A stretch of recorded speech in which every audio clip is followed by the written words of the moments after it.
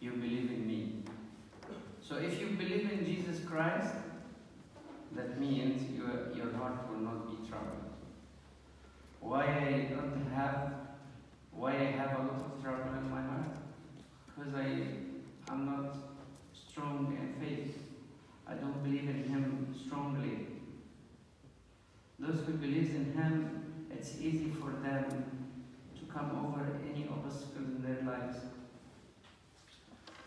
Faith is very strong, is very important in our spiritual life. If we ask any one of you, are you faithful? You will say, yes, of course, Abuna. I am a faithful God. I come to the church every Sunday. I attend the liturgy and, and, and. But are you really faithful? If you are faithful, one of the indications that you are very faithful, and if you believe really in Jesus Christ, you will, your heart will not be troubled. And of course, when we to the belief or faith, it just has to be a very simple faith. I'm not talking about the theologian belief or faith. I'm talking about a very simple faith. God doesn't want from you except a very pure heart and a very simple faith. And simplicity is very important to believe. Why we don't believe? Because we, we are complicated. We keep thinking and thinking and thinking, non-stop. We keep analyzing everything we hear, everything we see. And we get it into our complicated mind and come with a result after all this analysis. Usually this result is wrong. That man or that person not like me, that doesn't like me, or he's doing so and so, I might judge others. Many things come out of the not simple, simple faith. To show you how simple faith goes, you might have about a few months ago that one young man went from from Cairo to Upper Egypt to there. So he was serving there and giving a sermon to a bunch of people, simple people. So he was talking, I think, about faith, uh, about fear. And he said to them, don't fear anything. And if you see something in front of your eyes you got scared of, say strongly, with a strong faith, in the name of our Lord Jesus Christ, I restrain you fear, or whatever you feel. So, after they finished the meeting and they left, almost before midnight, an old lady came knocking the door of Abuna. Abuna, open, open, open. Abuna opened the door and said, What? What's going on? She said, Where is the teacher? He said, The teacher is sleeping. He said, No, let him come with me now to the house. He said, Why? He said, there is, there is a very big problem in the house and he has to come and fix it. So Abuna couldn't leave the young man alone, so he went with him to the house of the lady. What they found a very, very strange thing. That lady, with her simple faith, she opened her eyes in the midnight. She found a thief, stolen everything from the house. And he was in front of her, he might kill her. So she said to him in the, a very simple way and faith, said to him, In the name of our Lord Jesus Christ, I restrain you. Think the teacher was talking about devils or something like that, but she did it with a human. So she said, In the name of our Lord Jesus Christ, I restrain you. Actually, the thief couldn't move. He stopped. And she took all her stuff and she put it back again into its place. The thief told her, Lady, you took everything. Let me go. Please. She said, I'm sorry, the teacher told us how to restrain things, but not how to unrestrain things. So I will get the teacher to unrestrain you. So when the teacher and Abuna were there, she said to him, Teacher, would you please release him? So both teacher and Abuna couldn't believe themselves and they said to her, I think you are the only one who can unrestrain him. By your simple faith again, say, in the name of our Lord Jesus Christ, I unrestrain you. And she did. And the man could be able to move again. Very simple faith. I'm not talking to you about something in the Synaxarium. It's just a few months ago. One like me and you, when we don't have enough faith, we don't believe. So Jesus said, Let not your heart be troubled. Why, Lord? First of all, because you believe in me. And your faith in me, your belief in me, will take all the trouble out of your hearts. Second thing, because in my Father's house are many mansions. So, if you believe it mentioned that they are waiting for you at heaven, in heaven, so they will not fear at all, you will not trouble at all, you will not care about anything. Yes, you will do your part, either from work or study or whatever, but at the end, you will not get troubled at all. Why? Because Jesus, you believe in Jesus Christ our Lord, and secondly, because He prepared for you place there. You believe that He, when He went back to heaven, He opened for you a place, and there is a place for you in heaven.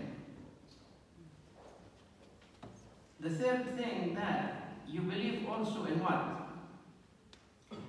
I will come again and receive you to myself, that where I am there, you will you may be also. So we believe also that Jesus will come in the second coming, uh, and he will take us on the cloud, and all of us will go there up there and will be with him. Where? In our place. We are so lucky. We are not like the whole world. We are special. Imagine that you are, you are, you. Every one of us, very special to Jesus Christ. He loved us so much. God Himself came, incarnate, and became man just for our sake. Yes, I know that life is miserable and you find a lot of uh, trouble every day, everywhere. I know the world has no justice, no, no fair at all. I know that you are tired of what you are doing. I know that you have a lot of a very heavy burden. But Jesus is telling you every day, every moment in your life, don't be troubled. I am here. I prepared for you place. Why, why we, why we trouble ourselves? Why we think like the other people in the world? Yes, everyone in this world has to be troubled because they don't know Jesus. They don't know Him. They don't believe in Him. But you are unique. He knows you very well. What will be happening up there in heaven. Just one word. Jesus will say one word. To one, I know you. To another, I don't know you. Ask yourself, does Jesus know you? He knows you very well. You're trying hard. You're struggling against sin. You are not troubled by anything of the world except troubled by your sins and you want to be clean. But how can I come to the Lord? How? Which way go to? Jesus is telling us, I am the way. I am the way. So if you want to reach heaven, go through Jesus Christ. He is there for us, free. You keep going with your car very far away because there is one of the gas station giving less, just few cents than the other stations in uh, to, to, to fill your tank.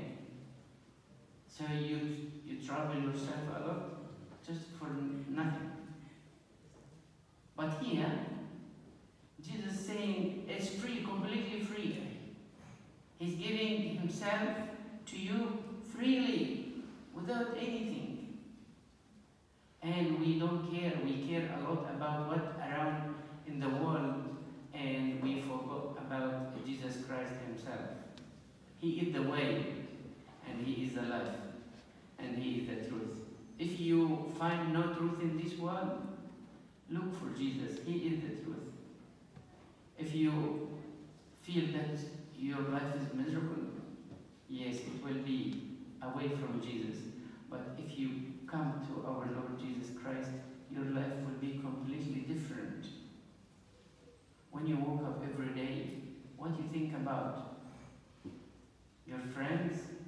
Oh, you, you think about your phone, first one, to look what messages came to you while you were sleeping. And you keep every every morning most of the people they start with something belongs to the world, not belongs to God.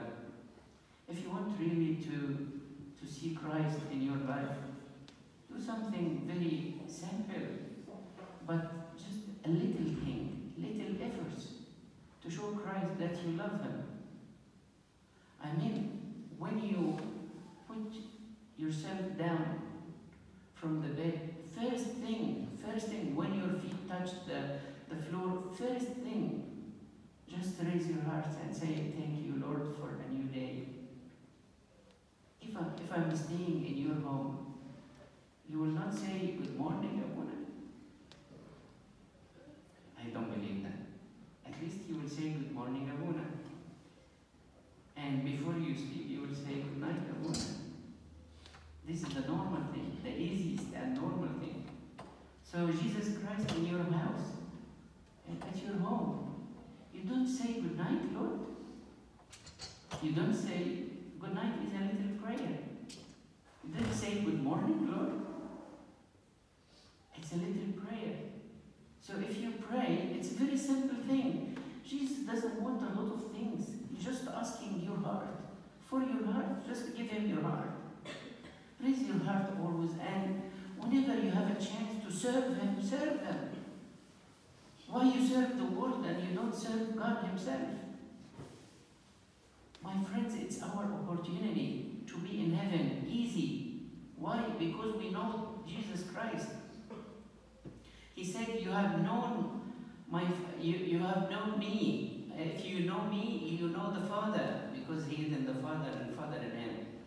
And when when Philip said to him, Show us the Father, he said to him, I am in the Father and the Father in me. Do you not believe that I am in the Father and the Father in me? The word, the word that I speak to you, I do not speak of my own authority.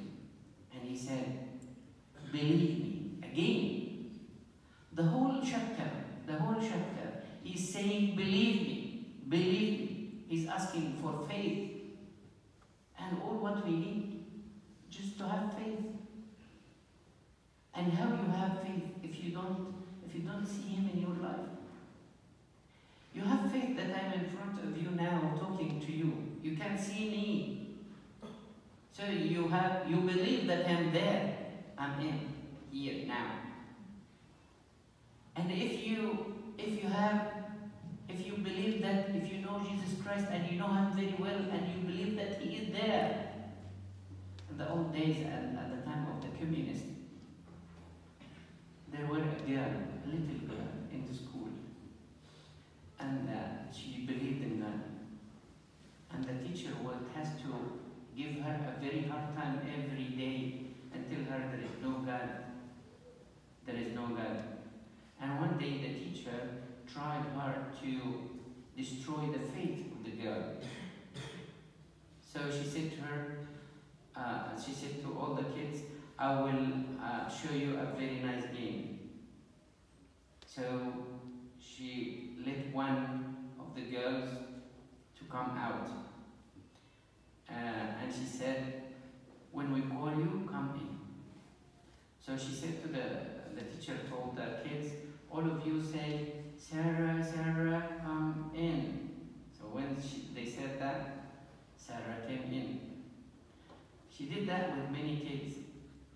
Then she told the little kid, the faithful one, Look, when we call any one of them, they come in, right? He said, Yeah. Said, Because they are there, they are here. We can see them. Can you call your Jesus? If you call your Jesus, we'll believe.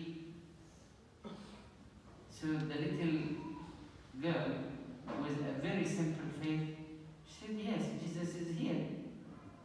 So she asked all the kids in that class to cry together in a loud voice, Little baby Jesus, come please now. She kept saying, Little baby Jesus, please come now. And all the kids said the, th- the same.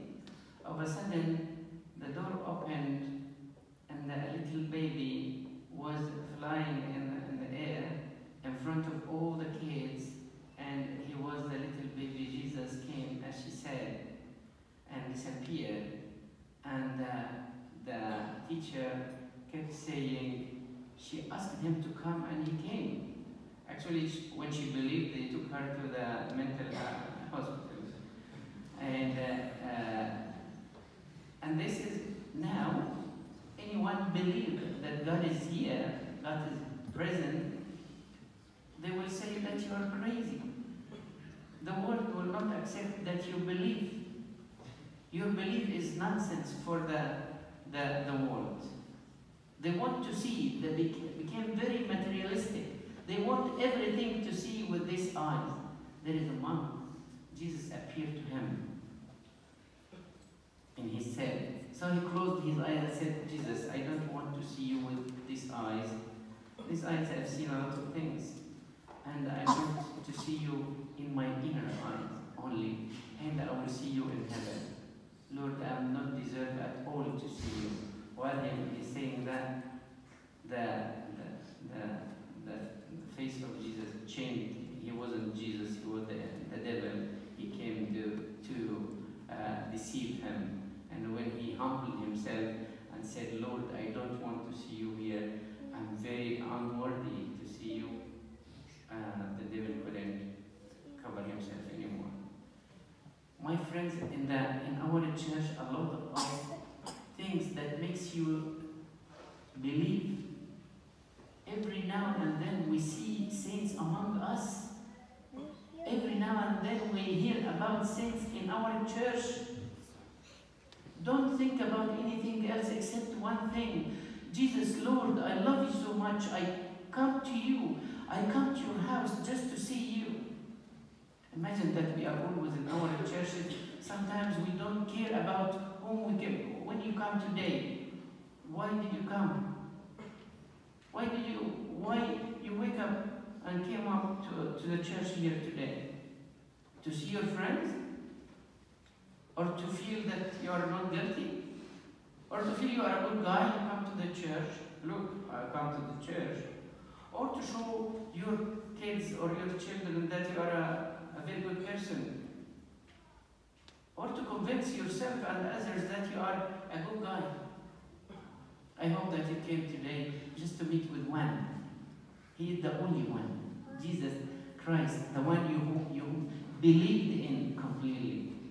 You came today just to close your eyes, not to see anybody except Him. Not to take into you anybody except Jesus on the altar. So you have you have to just justify yourself and purify yourself that Jesus can come into your house and to, into your heart. All that will never happen without belief. Because of that, he kept saying, Believe in me, believe in me. It's your chance, my friend. You came to his house today, raise your heart, pray to him, and if you don't know him, don't worry. Ask him to introduce him, himself to you. He will, because he loves you so much. May the Lord God give us all the joy and happiness of resurrection. Glory be to God forever.